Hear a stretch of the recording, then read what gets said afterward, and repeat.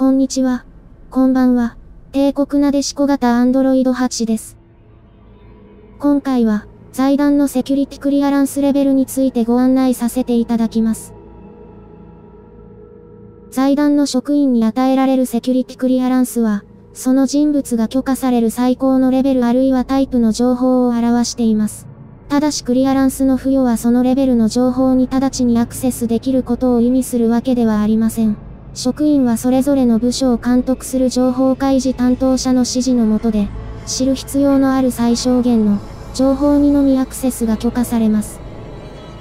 レベル0、公式用途のみ、レベル0セキュリティクリアランスは財団が収容する異常物体、存在に関する情報にアクセスする必要のない、末端の職員に与えられます。レベル0は基本的には作戦データにアクセスしない事務、ロジスティクス担当、施設の守衛などに与えられます。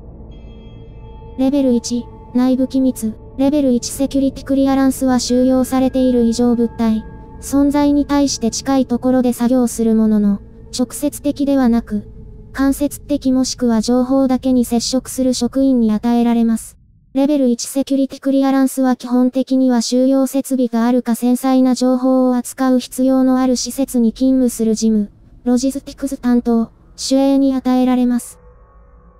レベル2、最低レベル機密。レベル2セキュリティクリアランスは、収容されている異常物体、存在に関する情報にアクセスする必要のあるセキュリティ担当者及び研究職員に与えられます。大半の研究スタッフとフィールドエージェント、収容スペシャリストはレベル2セキュリティクリアランスを付与されています。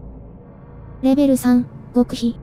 レベル3セキュリティクリアランスは収容されている異常物体、存在の起源、回収状況、長期的な計画に関するより深いデータを必要とする、上位のセキュリティ担当者、研究職員に与えられます。多くの上位の研究職員やプロジェクト責任者、セキュリティ担当者、応答チームや機動部隊隊員はレベル3セキュリティクリアランスを付与されています。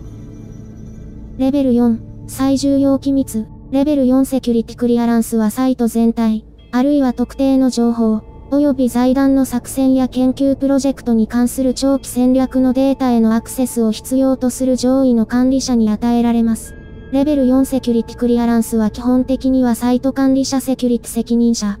機動部隊指揮官に与えられます。レベル5、タウミエル。レベル5セキュリティクリアランスは財団内の最高位の管理職員に与えられ、あらゆる戦略上の情報と機密データへの無制限のアクセスが認められます。レベル5セキュリティクリアランスは基本的には O5 評議会員に与えられます。以上になります。それでは今回はこの辺りで。